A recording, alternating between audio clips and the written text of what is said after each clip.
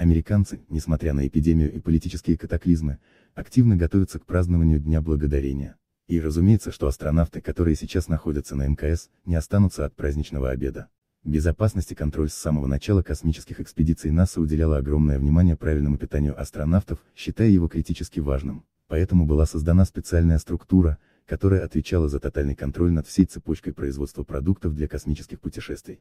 В конечном итоге, эта система оказалась настолько хорошей, что повлияла на производство питания по всей планете.